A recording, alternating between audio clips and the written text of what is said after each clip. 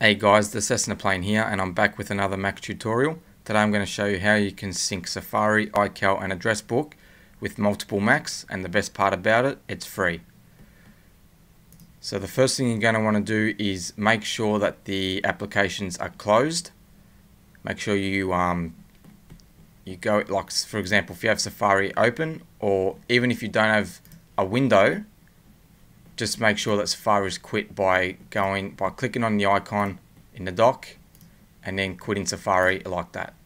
Okay, same applies for iCal and address book.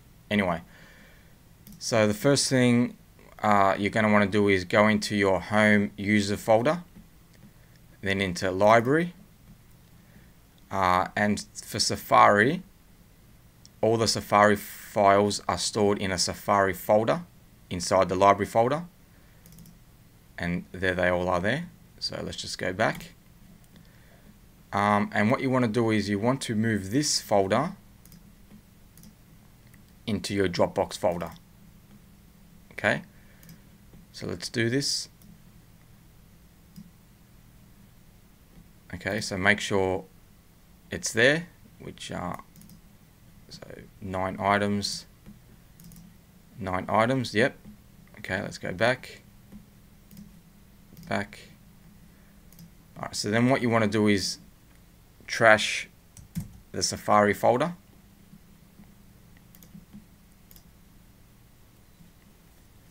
And then you're going to want to open up terminal.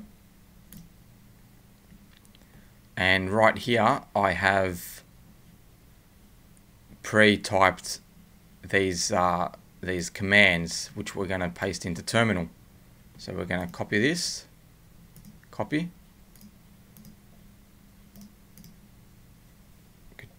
Command V to paste. Now, obviously, yours isn't going to be the, exactly the same as mine because uh, my Dropbox folder is in a, a different location than, than the, the default.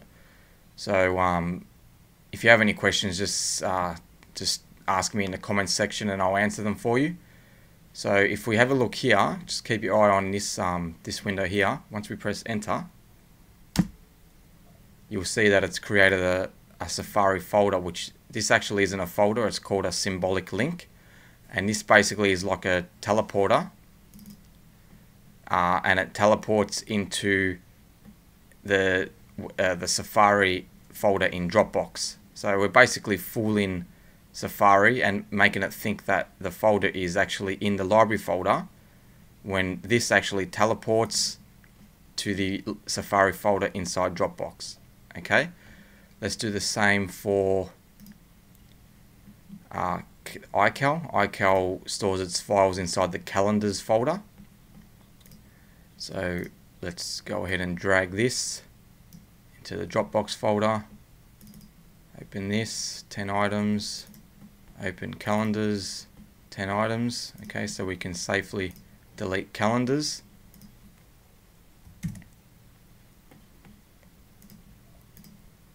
Empty the trash. Um, let's copy this the calendars one command C and command V. Now just watch the window.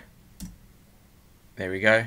It's created a calendars um, symbolic link and let's do the same for address book which is it's stored inside application support and address book so let's uh, make sure we're inside Dropbox yep.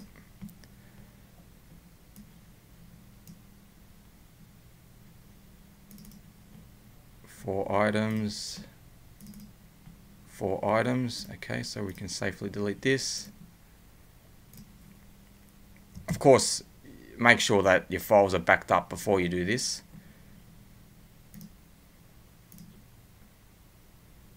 And then we're going to want to copy this, Command C, Command V, enter, and there it is. So now whenever you um, whenever you make changes to iCal or Address Book or Safari, pretty much anything you do will be synced and if you have another Mac you just basically do the same thing you create a symbolic link inside the the library folder and um, and that's it. So I thought that was that's pretty cool. And and if you have any questions, just let me know in the comment section. Otherwise, uh, all the best. Take it easy.